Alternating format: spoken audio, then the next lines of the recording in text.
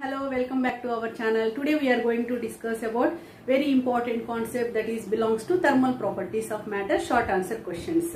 From this chapter only few answers are there from that uh, compulsory one answer is coming in final exams but it's very very easy topic. Okay, when we are understanding this it's very easy it takes only few minutes to learn this one. Our first short answer from this question from this chapter is the what is the centigrade scale and what is the Fahrenheit scale and what is the relation between them. All these three belongs to one question only. Don't confuse here. The question is what is centigrade, what is Fahrenheit scales and what is the relation between them. Centigrade scale, Fahrenheit scale, whatever the scale, we require two things. One is the lower fixed point that is the melting point of ice and another one is the boiling point of water.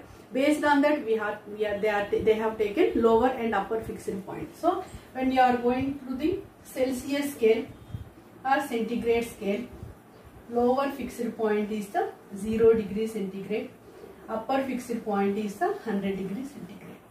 So here total how many divisions are there 100 each one is carries 1 degree centigrade. then we can go to, through the Fahrenheit scale see lower fixed point is the 32 degree Fahrenheit and upper fixed point is the 212 degree Fahrenheit and the difference is the 180 degree Fahrenheit. Each one carries 1 degree Fahrenheit. But how to find out the relation between them? For finding the temperature, we know the common formula that is the centigrade scale, whatever the scale, if you are taking Fahrenheit scale, Fahrenheit scale, minus lower fixed point is how much? 0 by number of divisions 100 equals to Fahrenheit scale minus lower fixed point is the 32 divided by 180. After simplifications, we are getting C by 5 equals to F minus 32 by 9. It should be right C equals to 5 by 9 times of this F minus 32. This is the relation between centigrade scale and Fahrenheit scale. Then our next short answer question. If we are taking two metals, one is the copper and another one is the steel.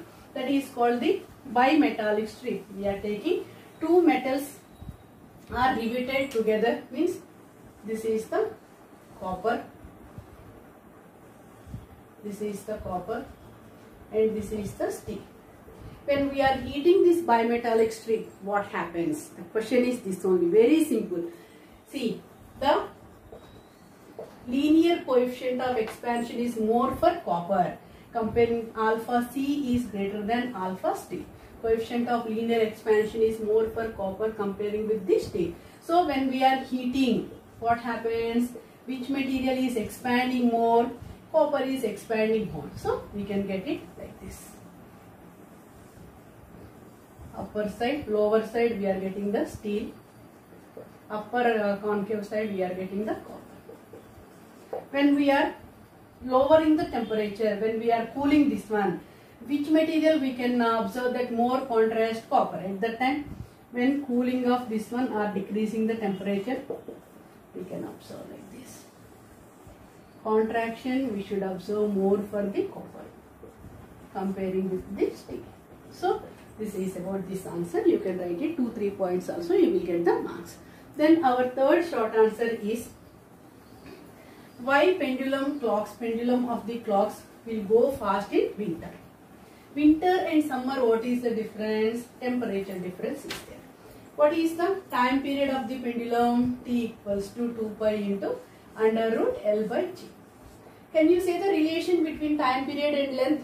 T is directly proportional to under root length. From this what we are understanding? When length is increasing, time period is increasing.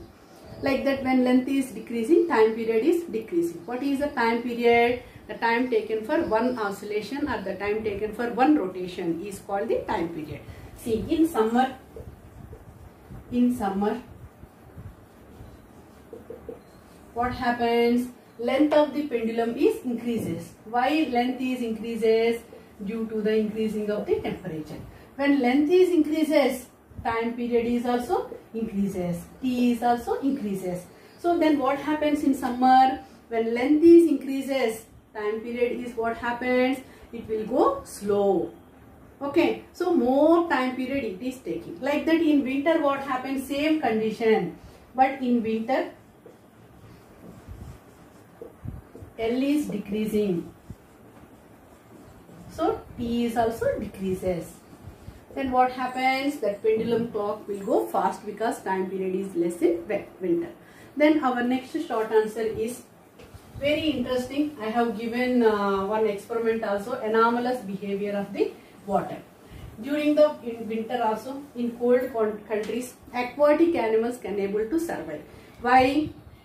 Generally when we are increasing the temperature what happens volume is increasing density is decreasing. But in the case of pure water see anomalous behavior of water anomalous behavior of water. Look, this is one lake. We should uh, take different layers like this. 0 to 4 degrees centigrade. What happens? Density increases. Only for water, not for all.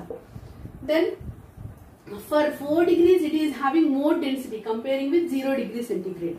But only for this particular case we should observe in the case of pure water. See, entire atmosphere is the 4 degrees centigrade. Now, this water is 4 degrees centigrade, 4 degrees centigrade, 4 degrees centigrade, 4 degrees centigrade. Then outside it becomes to 3 degrees centigrade. Then what happens? It becomes to 3. It becomes to 3. It becomes to 3. But it is 4 degrees centigrade only. Why? Density of 4 degrees centigrade water is more than 3. So whenever this 4 degrees centigrade what happens? It is down only. Why? The density is more and less volume is there. So entire is a 340 3 degrees centigrade. Then outside it is 2 then what happens? This is 2 and this is 2 this is 3 only. Why? 3 degrees centigrade density is more comparing with the 2 then outside it is 1 degree centigrade this is the 1 degree centigrade and outside this is the 0 degree centigrade. So outside it is like like ice and inside water is there because of the anomalous behavior of the water. Because of that reason only aquatic animals can able to survive during the winter season also especially where in cold countries. Then our uh, last question is this is also I have done one experiment. How many methods are there to transfer the heat? There are three methods conduction, convection and radiation. Conduction means with the vibrating particles. With no movement of the particles even though heat is flowing from when you are giving the file here. Look, conduction means when we are giving the file here to this rod, heat is flowing from A to B through the vibrating particles. This particle is not moving from here to here all particles are vibrating because of that reason heat is flowing from A to B. This type of transformation of heat is called what? Conduction. Then second one is the convection. Like we are taking water and we should give the fire like this. Then what happens?